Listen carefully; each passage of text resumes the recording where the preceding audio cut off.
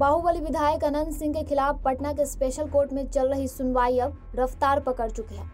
मोकामा के आरजेडी विधायक के खिलाफ ए के फोर्टी सेवन बरामदगी मामले में अभियोजन पक्ष की तरफ़ से गवाही पूरी कर ली गई है। अभियोजन पक्ष में स्पेशल कोर्ट के प्रभारी जज प्रिंस कुमार के सामने आवेदन किया गया था कि इस मामले में उसकी तरफ़ से गवाही को बंद किया जाए।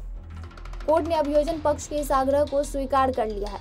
विधायक अनंत सिंह के पैतृक घर से के फोर्टी सेवन के बरामदगी मामले में अभियोजन पक्ष की तरफ़ से अब तक कोर्ट के सामने तेरह गवाहों का बयान दर्ज कराया जा चुका है। बाढ़ की तत्कालीन एएसपी लिपि सिंह के साथ साथ केस के इन्फॉर्मर बाढ़ के थानेदार संजीत कुमार और आयु की हैसियत से लिपि सिंह समेत तेरह गवाहों का बयान दर्ज हो चुका है।